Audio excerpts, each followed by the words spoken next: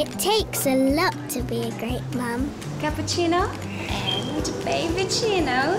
Luckily, I learnt from the best one in the whole world. Choo choo choo choo choo choo choo choo choo. She's teaching me so much about how to be an amazing mum.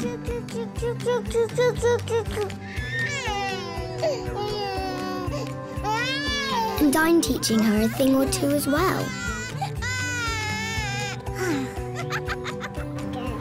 How did you do that?